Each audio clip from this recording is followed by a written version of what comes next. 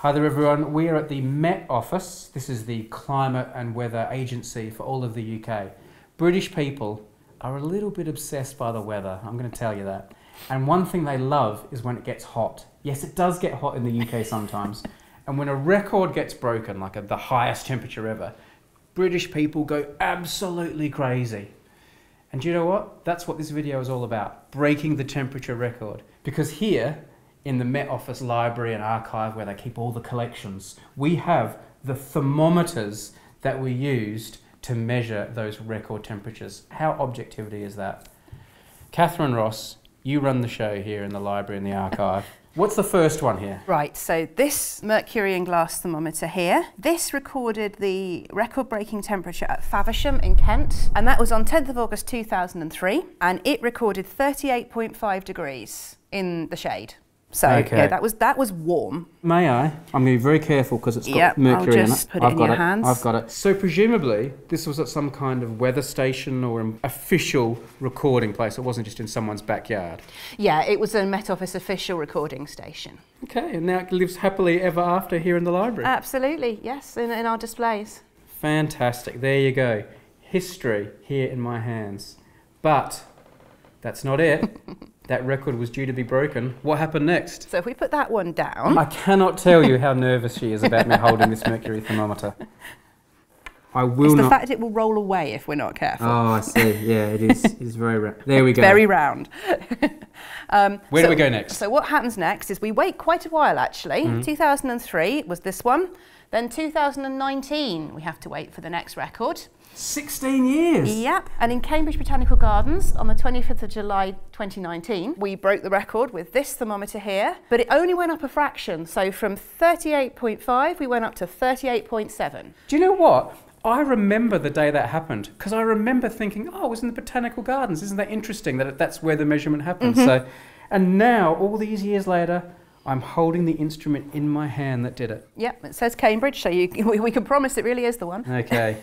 Um, obviously, you're looking here at a, an electrical thermometer, so that had to be brought out of the gardens and sent back here. All the calibrations were run. We knew we could trust that data, and we then said, could we have that for the collection because it's the next record and it's taken us 16 years to, to break the record so you know, it was a significant date if you like if you hadn't stepped in and said, "Can I have that, please?" What would have happened? Would they probably sent it back to go back to yeah the? it would have just gone back into you know, it was it was the, it was operational kit it Mm. would have gone gone back into the you know, either that weather station or whichever next one needed a piece of kit But you thought, "No, I want that. Yeah. I, that belongs yeah here." i want that because that record that was the the one that recorded that temperature You, the, you truly have the spirit of objectivity in your soul. I can tell, because this is a brilliant thing to have kept. I'm assuming that's the part that does the temperature. Yeah.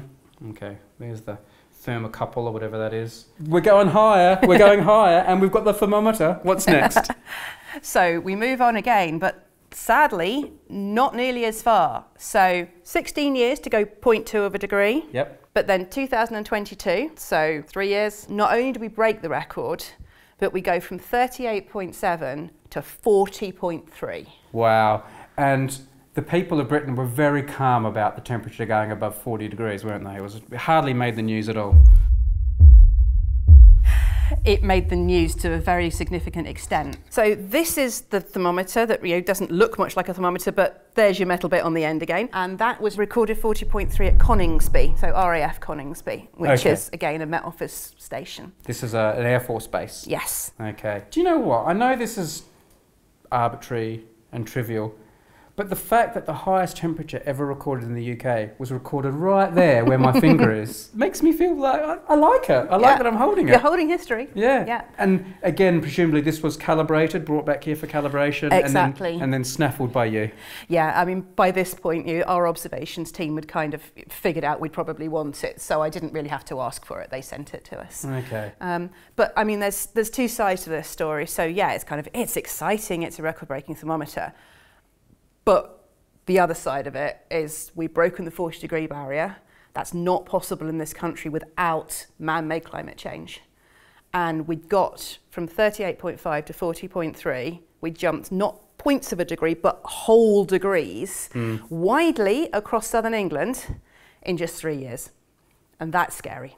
We're not going to stop here though, people. It's time for bonus thermometer. Look at this thermometer, people. To the untrained eye, just another lovely old school thermometer, but there's something written on it that gives away how special this is. Tell us the secret. So you're looking here where it says BT number one, and that's Board of Trade number one, and it's the very first thermometer that was issued to the Meteorological Office back in 1854. The Met Office's first thermometer. Presumably, this also is a record breaker because the first temperature they ever recorded must have been the highest they'd recorded. Yeah, So, absolutely. so technically, it's another record Technically, breaker. it is a record breaker. You're right. But yeah. very, very special to have in the collection. Do we know anything about it? Where it was? Where it was? I don't know where it was used at all. No, you just sort of inherited it in the collection and thought that's pretty special. Yeah. Number one, mercury thermometer. Love it. I could make videos about thermometers all day long, and quite possibly will. Thanks for watching. Make sure you check out all the usual places for links to more videos from the Met Office and more videos about the weather. You can actually see different days and how sunny or not sunny it was. So this one, very sunny. If you'd like to support the project, help us make more videos like this, why not become one of our Patreon supporters, just like the people whose names you see on the screen at the moment. Not only are they helping us make more videos, there's also some bonus content for patrons, including extra pictures and videos from behind the scenes. It was a big, big day in history of the It Royal was Society a that big day. day in history. I, I, I'm surprised it's not a bank holiday here in the UK. It should be. It really should be. This sort of moves. Why does this It does. move? Because it's mounted on ship, you it's in the special, uh, either the captain's cabin or later in the special chronometer room. Because as the ship pitched and rolled, then this remained virtually flat.